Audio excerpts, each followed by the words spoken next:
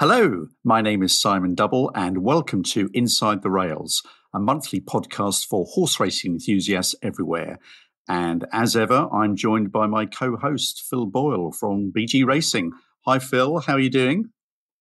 Hi, Simon. All good, thanks. Although, yeah, perhaps a little bit jaded we're recording this on Wednesday, the 22nd of November, and uh, I was at Market Rasen where Dynamic Kate ran last Thursday, then straight over to the Cotswolds for Friday, Saturday, and Sunday racing at Cheltenham.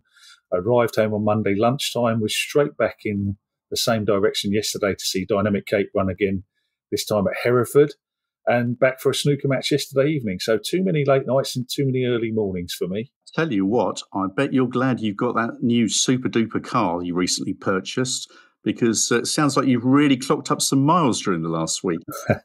anyway, we'll discuss how Dynamic Kate and the BG Racing horses have fared in a minute, along with the Cheltenham November meeting. However, it's really good to get our second jockey in two months as a guest later on, and that will be apprentice Frederick Larson, known as Freddie and uh, he rode a winner for me last year. Indeed, he did. And your pocketbook of jockey contacts must be uh, it's certainly getting a good bashing. Must be nearly empty. Do you, do you jockeys know that when they ride a Solario racing runner, it's contingent on them also agreeing to be a podcast guest on Inside the Rails? Oh, yes, that's the deal. That's the deal. No, not really. The big issue of the day in racing, it's still affordability checks and betting and that's bookmakers actually checking whether the likes of you and me can afford to bet.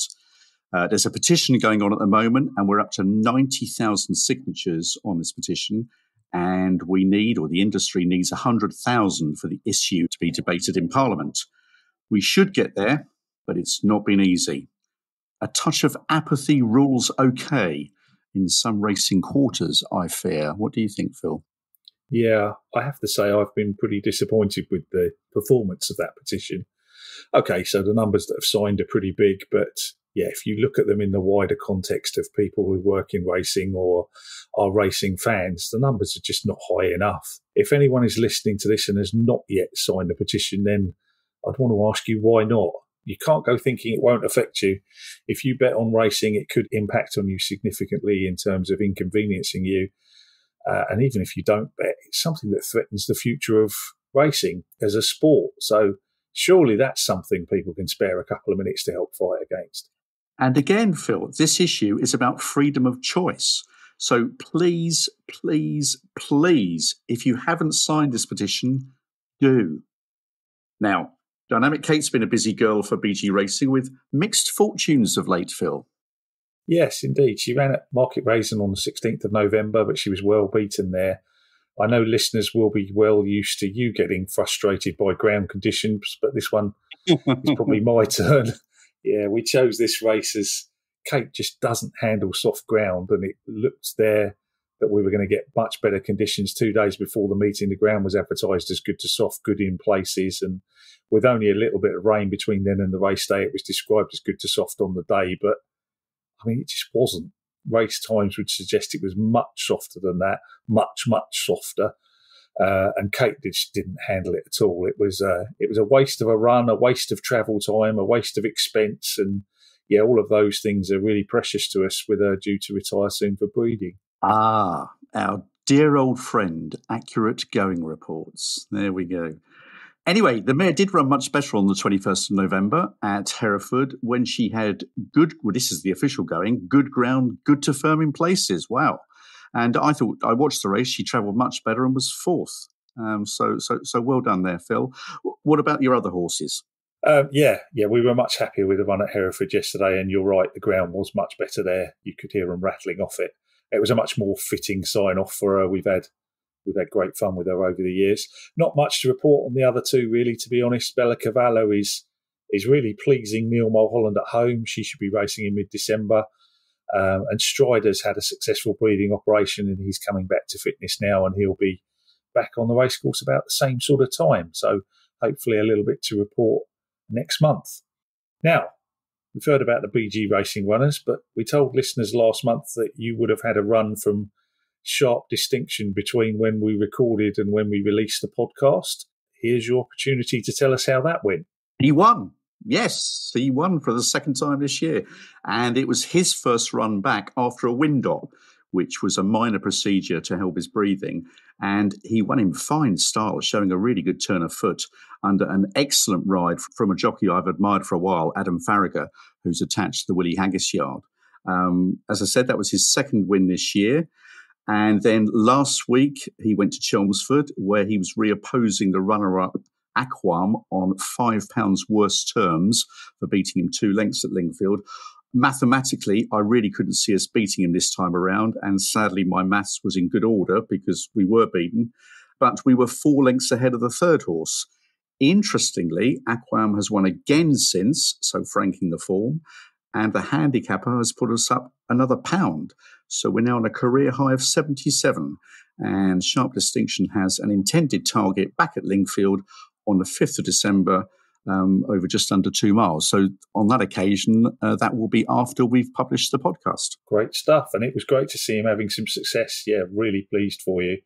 Uh, and I look forward to, uh, since you've spoken so glowingly about Adam Farragher, he'll be no doubt appearing on Inside the Rail soon. So look forward to that. What what about the rest of your horses? I saw Tarantino was sold at the Tattersalls Horses in Training sales, but uh, yeah, I saw that Dancing in the Woods was withdrawn from there. Did you decide to keep him, or was he sold privately? Okay, let's deal with Tarantino first. He's been sold, and he's been sold to go hurdling. In fact, I notice he's entered at Exeter this week. That's an interesting move, as I don't think he'll get two miles in a horse box, and I certainly wouldn't want to be riding him in a hurdle race. Um, I'm sure he probably doesn't want me on his back either, but never mind. Um, look, having said that, his issue was particularly with the stalls. So maybe a standing start um, without the stalls will help him. We shall see in due course. Incidentally, listeners, for those of you who are fans of Gary the Goat, who was bought by Amy to um, calm Tarantino down, he wasn't sold and he has a new companion at Amy Murphy's. In, in fact, on that note, he went missing actually a while ago. And Amy said to the staff, "Oh, don't panic, don't panic, don't panic. He'll turn up somewhere." And she said, "Just go and have a look around the boxes." And he'd actually wandered into a box, and uh, the horse that he was with, that's now the companion. So there you go. anyway, Dancing in the Woods, a nice story about him finishing his racing career. He was withdrawn from the sales, as you rightly pointed out, Phil. Um, he was withdrawn with a vet certificate. Um, he'd been recovering from a leg infection, nothing too serious. Um, but he was sold privately to the lad Luke Bacon, who used to work in racing. And he used to ride him as a two year old at Dean Ivory's. And he's now set up a livery yard and he's gone to him. So good old Woody will have a great new life, either team chasing, showing, or maybe eventing. That's good to hear. Nice to see these race horses getting another chance in their retirement. So, yeah, look forward to seeing what he can uh, do in his new sphere. So, what about the two new yearlings? How are they doing? How are you getting on with the share sales? Yes, they've been fully broken in and ridden away. And I'm delighted to say all went very well. Now, those are they just interrupt you there. Those are two terms that we probably ought to explain to people because I don't think either of them really means what they sound. Broken in and ridden away. Let's let's tell the listeners about those two terms. Actually, that's a good point, Phil. We all get very used, don't we, to using jargon, and we take it for granted. So the term "fully broken in" doesn't really it doesn't it doesn't come across as what how it sounds like. You're not breaking in a horse at all. You're actually building it up with confidence.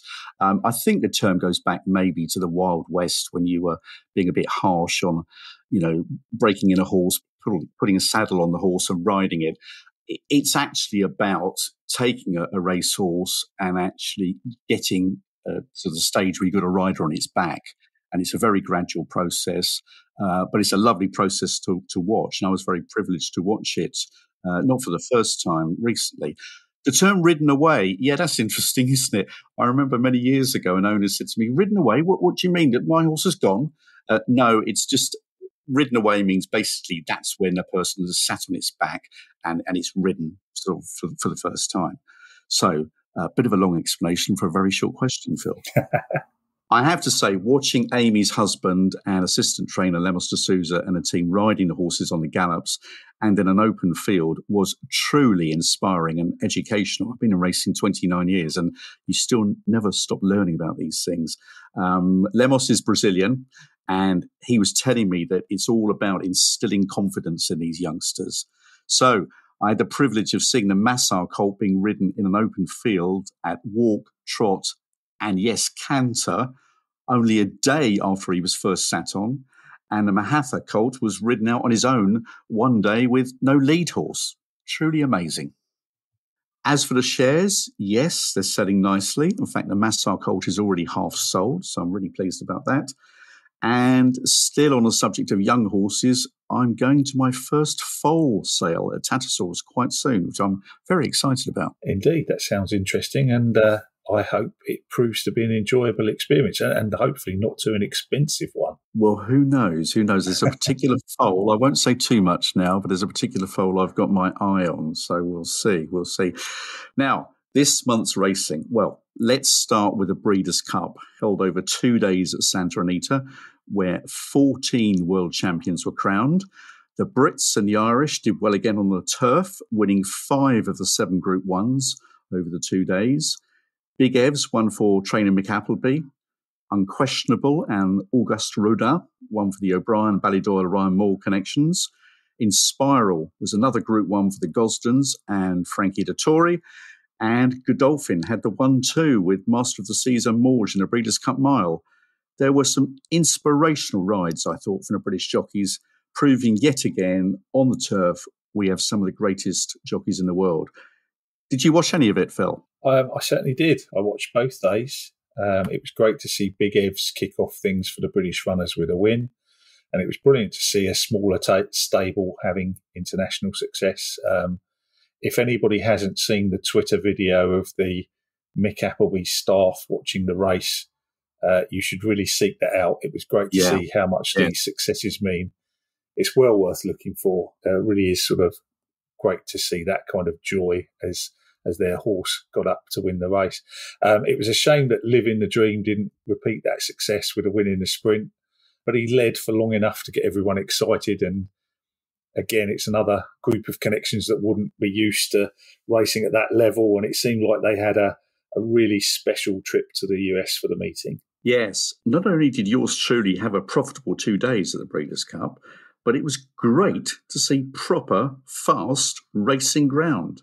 It was firm, but perfectly safe. Now, I didn't see much of the November meeting at Cheltenham due to other commitments, but uh, I'm sure you'd have been there. How was it for you, as they say? I certainly was there. It was a it was a good meeting. Perhaps it might not have been packed with superstar performances, but uh, I guess time will tell on that one. I might be wrong. Uh, the big race was won by Stage Star, a syndicate owned horse which was great to see. Despite a last fence blunder, uh, he held on to win. Um, and he's a grade one horse. He won at the Cheltenham Festival last year, and there was also the real whacker in the same race, both grade one winners. And it's brilliant to see those top class horses not being afraid to run in handicaps. So I hope more horses do that in the future rather than sticking to the level weights races because it, it does provide an interesting dynamic as to whether they can overcome top weight against some some uh, slightly lesser rated but still sort of up and coming opposition. I thought Burdett Road, who won the juvenile hurdle, was probably the most impressive performance of the weekend. Um, certainly my highlight, and I, I, hope he proves to be top class.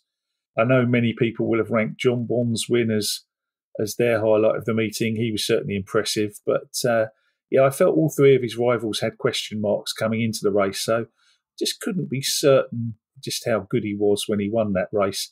Not sure exactly how well all the others ran. We shall see, I suppose, as time goes on. Um, and of course, the inside the rails highlight came in the very last race on Sunday, the last race of the three days. So last month's guest, Jack Quinlan, had just ridden his first Cheltenham winner when he recorded with us last month. And um, he had his second winner in the final race of the November meeting when Brechin Castle won the bumper. And Jack gave us some horses to follow last month. And Brechin Castle, I think, was the first one he mentioned. So I was very happy to cheer him home on that one. Yes, well done, Jack, for giving listeners a steer on Brechin Castle. Well, it's that time of the podcast when we have our guest, and I'm delighted to say apprentice jockey Frederick Larson is on the line. Hi, Freddie. How are you? Yeah, all good. Thanks very much for having me, guys. Pleasure to be here. Well, it's uh, very kind of you to come on. Um, I think you've got a rare day without a, a ride today. Is that right? Yeah, just this time coming up to Christmas, it's always pretty quiet. So, um, no, great to have a spare day and No, it's good to good to speak to you guys. Well, th- thanks, as I said, for coming on. Your very first ride for Solario Racing was on Dancing in the Woods in October last year. I couldn't be there, unfortunately, as I was at the yearling sales, uh, but I was watching it with Amy. Tell us about the riding instructions from Amy Murphy and how did the race pan out? Listen, um, Dancing in the Woods, he always, always, in his whole life, he's always been dropped out. And uh, and Amy said to me, "Listen, this apprentice race, they'll probably end up going fairly sharp. Should suit him." Um, what did you What did you do? Well, I'm I, am i am pretty sure. I'm pretty sure it was first start after another wind up. Was it? I'm pretty sure. He jumped out, and I could. I looked across, and there was three lads on the inside of me looking across, thinking, "Who's going to go and make the running?" And I thought, if I take back, we'll end up crawling round because no one wanted to make it. So I thought, well, we're not going to win from behind, so might as well give it a go from the front. And he actually dug it out really, really well. And for the benefit of listeners, he did win. Um, funny enough, funny, win, enough yeah. funny enough, listeners, just before we were doing the sound check, I was talking to Freddie um, about jockeys and sort of doing the unusual and maybe ignoring instructions, and and he agreed that uh, if you make a bold move and it works, you're the best thing since sliced bread. And if, of course, it doesn't work, you get called all the names under the sun. Um, but on that occasion, I know you've joked about it since. You know, you you have to you have to think on your feet, don't you? And if the race, if the pace of the race isn't right, you've got to you've got to react, and you did, and and won. So, uh, thank you for ignoring Amy's instructions. That was good. um, now, look, talk, talk, talking of firsts, you went on your very first ride in public. Tell the listeners a bit more about that. When was it? And, and, and tell us about that. Yeah, so um, probably coming up to three years ago now, um, in the middle of December, I just got my license and I'd been riding this horse every morning um, since I'd been at Mick's and Thrave. And Mick said, You're going to have your first ride in him on whatever day it was. And I was delighted. Nervous, but delighted. And um, walked the course before Ali Rawlinson, give me a load of help. And it was just like a blur. That's what I can remember. It I felt like I was in a film and I was looking up at the I was looking out through the stalls up at the floodlights and it was all over in a flash. Um, and luckily, um, more by luck than judgment, I'm pretty sure. But listen, he got up right at the line. Um, and you know, you can't ask for a better start than that. So no, I was delighted. No, you're, be, you're being too modest. It looked a pretty good first ride to me. so uh, I'm sure connections were very, very pleased. Now, look, let's just go back to the beginning. How did you get into racing? What's the Freddie Larson story? I think you actually started off wanting to be a professional footballer, didn't you? Yeah, ever since I could walk, um, I played football, and things uh, like doors opened for me when I was when I was very young. I was playing for the county, then clubs kind of got, um, started sniffing around me then, probably at about 14, 15. First, I was on trial at West Ham and then Crystal Palace in the end. Um, that was the last professional club I was at. Listen, it didn't really work out. Um, I got dropped from from Crystal Palace and I tried to go into, you know, semi professional, but as a five foot three, 18, 19 year old kid, at the time, trying to go into, you know, fairly competitive men's football um, with seasoned pros in there at that level. It was just hard for me to break in. But yeah, I think I just kind of got disillusioned with it because obviously stepping up into the men's game, I wasn't getting the playing time I would have been getting at academy youth level. And I just kind of think I just fell out of love with the game a little bit. And then I started working with my dad, who's a pipe fitter welder. And he always said to me, listen, you need to, like, you can work with me for as long as you want, but you need to find something that you really love and enjoy. And we were just driving home one day and he said, listen, you're pretty small. Why don't you just try and be a jockey? And I, I laughed at him. I said, no, you have, you have to be able to ride. And I'd never ridden a race. I'd never ridden a horse, never ridden a pony at a riding club, nothing. Wow. So I just typed it in and BRS came up, the racing school in Newmarket, and I thought, well, I'll give it a go. Went for an interview, um, and then got on the course and never really looked back. Wow! So really, you got to, it's your dad you got to thank for all of this, then. Yeah, yeah, yeah. No, I wouldn't have even it wouldn't have even crossed my mind. I had no interest in horse racing, never really watched it. Watched the Grand National and the big races in Cheltenham, like if it was on, but yeah, not from a racing family or a horsey family at all. Did did he mention that not just because of your height, but was he a racing man? Has he enjoyed horse racing himself? Not really. He's a bit like how I would have been, you know, if the racing was on, he'd watch it. Probably Channel okay. Four back then. But yeah, no. Um, no, not at all. Um, well, the rest is history, as they say. Um, look, you're obviously a big part of the Mick Appleby team, but you ride for other trainers, including Amy Murphy. Can you give listeners an insight into a day in the life of Freddie Larson? So, do you ride out regularly for other trainers apart from Mick? Yeah, um, I'd split my time between Amy and Mick mostly. If someone else wants me to gallop, I'll um, I can always take a day off and go and gallop for whoever. But say like uh, tomorrow, I'm going into Amy Murphy, so I'd wake up half five, get in the car, drive to Newmarket, ride sort of three, four lots for Amy, and then either come home or go racing. And uh, with a good bit of sweating in between uh, most days. Um, do, do, you struggle with the weight? You know, it's a, it's a question we ask jockeys a lot. Some do more than others. Is it difficult for you? It wouldn't be difficult for me, but I think with anyone, you're always trying to do two pound under what you should be doing. So sure. you're taking rides at eight five when really you should be taking rides at eight seven. But it doesn't matter if you're heavy or if you're light. Everyone wants to be riding, and whether that means you have to lose a couple of pound, then then that's just you know the nature of the job. But I just think everyone's always trying to ride two pound under what they should be riding at. And your biggest win to date, Freddie, was on Pride of America for Amy Murphy in the John Smith's Cup at York. I was there that day. Uh, not only was it memorable for the way Amy leapt into the arms of owner Anoush Don when the photo finish was announced, but a huge day for you, you know, big win on a Saturday. Um, did you think you'd won? And how important was the win for the career of Freddie Larson? In all honesty, the race didn't go how we would have liked. You know, you know how much of a what, another one. Another race didn't go quite Another right. one. Luckily, it was another winner. But um, listen, they, they they very rarely go plan A, and he just couldn't go early, and he just had to take like I just had to take my time with him, got him rolling in this straight. I thought I'd probably got there too soon, and I was just idling in front. Um, but he'd see out a mile and a quarter really, really well at the line, I would have said Tom Eaves had come and beat me on Astro King. Um, just because I think when you're the one up there being shot at, I think you always you're always thinking the worst, and it was close. Um, but no, I think just when it re- when it gets announced, um, I just think just relief that that he did win. That was the biggest thing I think you can see on the replay. I think just utter relief because I knew how much work everyone at home, especially Amy herself and um, Lemos, they put into that horse. You know, sometimes they're walking on eggshells around him because they just have to look after his legs. And, and you know, I, I know how much time and effort he takes to train.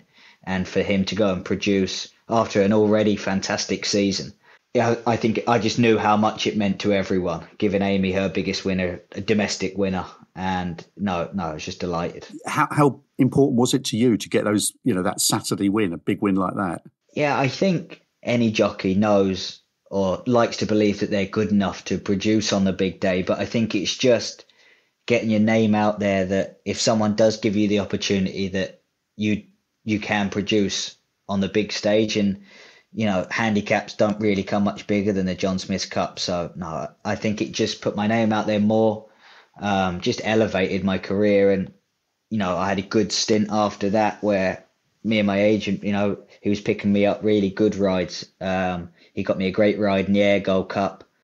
Unfortunately, the ground went and he actually won yesterday, probe. Um, but you know, I was picking up really, really good Saturday rides from then on, which is, you know, never it's it's never going to be a bad thing. So you, you, you mentioned about the John Smith's Cup being a, a, very you know historic race. I think the first running of that was the year I was born, and that's a few years ago. no, and it's you know it is it is historic, and you know the trophy and everything. So no, no, it was brilliant, and I think it just kind of elevate elevated my career that just to show everyone that I could do it if I got the opportunity on the big day. Simon, it's totally unfair to ask Freddie about things that happened on the day you were born because obviously you're a dinosaur and he's far from that. But uh, so I'm going to change the subject. Obviously, the uh, celebration you were talking about that Amy Amy had after the John Smith's Cup at York, uh, Freddie, Simon, and I were talking about the Breeders' Cup uh, earlier on and the celebrations in the Mick Appleby yard when Big Evs won there. And yes, Simon tells me you've you've played a big part in his career and you were singing his praises at the beginning of the season. Can you tell us a bit more about that? Big Evs. He's been an absolute superstar for us, and I think I've ridden him pretty much every day, bar when I was on holiday. I think I've ridden him every day since he was at Mick's, and he was very raw when he came. Um, he didn't know his own ability. He didn't know that it was, you know, the speed that he he possessed. But I remember telling Amy, and I, I'm pretty sure I told everyone I know. I said, "This is the best horse I've I've ever ridden." And everyone gets excited about there'll be you know it won't be long now there'll be sort of two or three months time and everyone will be telling you that they've got the next fastest thing and the next derby hope and i knew how good he was and i'm just delighted that he showed the world how good he is. And you know he's taken a lot of work to get there where he's got to now but you know he's probably made himself a stallion career already off the back of off the back of this year and anything he can do next year you know is a bonus a bonus for his page anyway. Can I just come back in here because in the celebrations after Pride of America's after Pride of America's win at York, I was at, in the bar. Uh, Fred, to be fair, listeners, Freddie didn't have another ride, so he was allowed a drink. And we were we were chatting, and he was talking about Big Evs, and he said, "Yeah, that'll go and win a Molecomb and then a Breeders' Cup." Yeah, I did, and I, I tell you what, the only the only time I ever questioned myself was when Tom Marquand rode him and won on him in the Flying Childers, and he came back in and he said, I said, that'll win the Breeders' Cup, that, won't it? And he said, I think it should go for the Abbaye.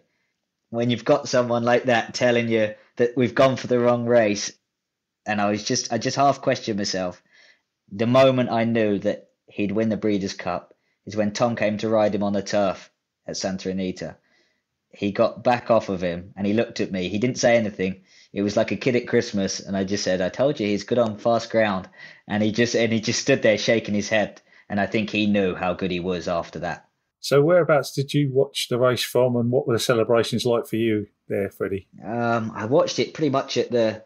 It's obviously difficult to watch because obviously the, the the dirt separates the separates you from the turf, but we were just stood right in the winners' enclosure actually through everyone's dismay. All the stewards there were trying to get us out, but there was nowhere else to watch. It was so hard with so many people there trying to watch. So we watched on the big screen. And when he came around the bend on the wrong lead, I thought, no, no, no. I was worried for him then. And once Tom kind of picked him up, changed his leads for him, ah, listen, there's only one winner. We know how well he sees out the five. And no, it was brilliant. And I think there was a lot of emotion when I was jumping all over Mick I think there's a lot of emotion because we'd put so much work into him, and for him to go and destroy the best sprinters in the world was just, you know, it was special. It was one of those times where you won't see a two-year-old that fast for and handle any ground like he has. You, I, I don't, I don't think you'll see.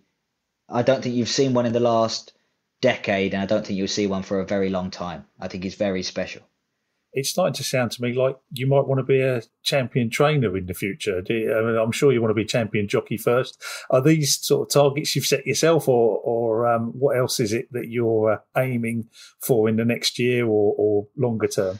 Um, probably short term plans for me. Obviously, I haven't got many winners left of my claim now, so hopefully ride that out this winter. Just keep kicking on. Hopefully, Amy has some real nice. Obviously, I've seen the yearlings and help to break them. And listen, she looks like she has some really nice types, but very early to tell yet. But hopefully they all come to hand nicely, and no, hopefully just have another good year, make some more contacts, and it's just one of those. I think longer term, I really like working with younger horses, and one day I'd love to have my own yard breaking and pre-training um, yearlings. So um, that'd be that's a dream for me Great stuff.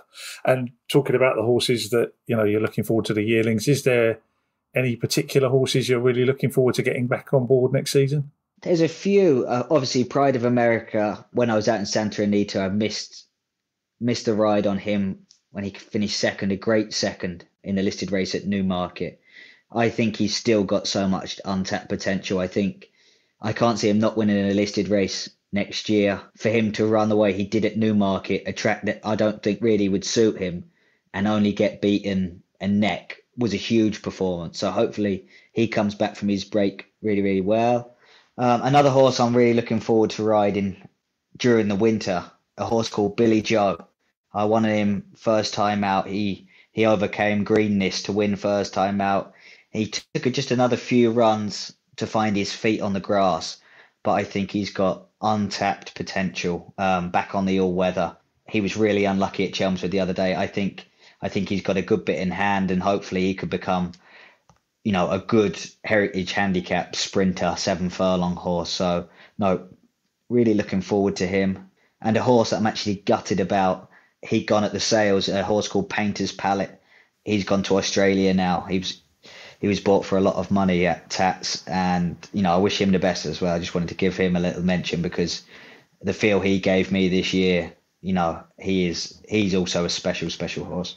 Freddie, just just before we come to the final question, you mentioned yearlings there up at Amy's. Have you seen the two that I bought at all? One by Massar and one by Mohaather. I don't know if you've seen them or ridden them yet. I saw the Mohaather. Looks a lovely little stamp of a horse. Should take plenty of growing into himself. I I think they're they're definitely in the right hands with Lemos and Amy. You know, two year old specialists, and hopefully, hopefully they'll be up and running next year, and you know, hopefully they can go on and and win some races for everyone. Hopefully, with me on board. well, that's good to know that I haven't wasted my money on those yearlings. Good stuff. Now, finally, a question we like to ask all of our guests: If you could change anything in British racing for the good of British racing, what would it be? I think the first one for me would just be the BHA, the governing body, have to take more note of what the shareholders want. If there's no shareholders, racing wouldn't exist. You know, everyone, it has to benefit everyone. And at the moment, I think there's so many problems, not just in, in a jockey's view, yeah, there's always going to be problems because we always want things changing and keeping with the times. But I think there's a lot of educated people, uneducated on the subject at hand, making decisions without really considering the people that are going to have to deal with the complications of the decisions they're making. If that makes sense. Yeah, yeah, yeah. I think there has to be there has to be more communication between the two. I don't think decisions should be made based like solely on the BHA's choice. You know, I don't think it makes any sense. Are you talking about sort of communication between the BHA and other interested parties like owners, racecourses, trainers? Is that is that where you're coming from? A hundred percent, yeah. That's exactly it. And is there anything else you'd like to suggest? Prize money has to increase. Has to. And it's okay putting on the sort of I don't want to sound horrible, but the fads like the Sunday series, like the Racing League. I don't understand how this money can be spent for one series, whereas it would benefit everyone more if the money went in across the board. And like I was just saying to you there off air, if you pay twenty thousand pounds for a horse and you're running around Wolverhampton for three thousand two hundred pounds to the winner, and then you've got to pay training fees on, on top of that, it's it's not financially viable unless you have an endless pot of money. And whether that's whether that's with the bookies putting in more and like with affordability checks now as well, I don't think that there's going to be more people going onto the black markets to to back horses. That means less money coming into racing, and you know, racing cannot could not take another dive in prize money because it's not benefiting anyone. You cannot like these are businesses that everyone's running, and you cannot run a business without any funds. Well said, well said, Freddie. And thanks for mentioning affordability checks because that's something Phil and I discussed earlier on in the podcast, and indeed is something we've mentioned in previous episodes. So thanks for giving that a mention. And thank you for coming on Inside the Rails and, and good luck next year. Thanks very much, guys. No, it's been a pleasure. Thanks. Well, another great guest, Phil, wasn't he, Freddie? I know him quite well. He's ridden for me a few times, and he's always entertaining at the racecourse. He's got a good sense of humour. He's not just humorous, but a very thoughtful and incisive young man. Yeah, it certainly is. And um, yeah, obviously, he's had a, a great time of it recently. I'm sure we're all jealous of the fact that he got to go to the Breeders' Cup and we didn't. So yeah, it was great to hear the stories about that. Yeah, yeah. And in terms of podcast, uh, this one will be out on the first of December, as I'm sure people will have realised from downloading it. And we're out on the first of the month every month, so there will be another one out on the first of January. And if in the meantime you can help support us by telling your friends all about Inside the Rails, following the podcast on your chosen podcast platform, and just generally retweeting our tweets or engaging with us on Twitter. That would all be brilliant. It all helps us to grow our following. Well, that just leaves me to thank co host Phil Boyle from BG Racing, producer Callum Ronan from Callum Ronan Creative, special guest jockey Freddie Larson, and of course, you, the listeners. The Brits and the Irish dominated the turf races at the Breeders' Cup but as autumn falls into winter, it's time for the jump season to really hit top gear, as all roads lead to Cheltenham and Aintree and Punchestown. Top class jumps racing isn't a one trick pony. This is Simon Double from Solario Racing saying, Thank you for listening to Inside the Rails, and wherever you are this festive season, we wish you a happy and peaceful Christmas. Goodbye.